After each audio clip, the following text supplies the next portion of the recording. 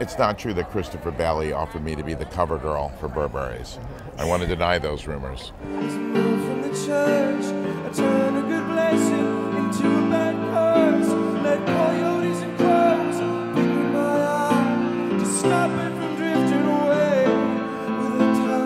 Burberry show is always the hottest show at London Fashion Week. Their front row is the hottest for starters, and the models, well, they're not only hot, but the coolest chicks around. So it's no surprise that Bradley Cooper, Harry Styles, and Tinie Tempah turned up to show their support.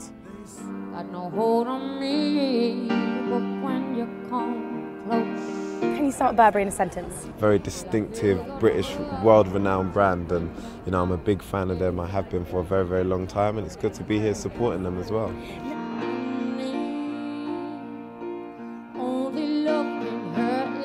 I just love the brand because it's so British, so elegant, and so sharp and, and cool. love can hurt like this.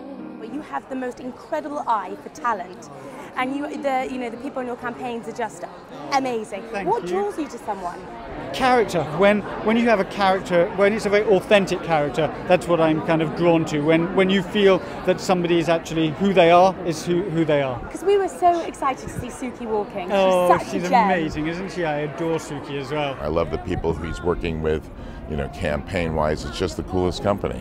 What can I say? Now I've heard that Harvey and Cara are going to be on the front of your next Oh, campaign. no. It's Harvey spreading those new that, that, that gossip.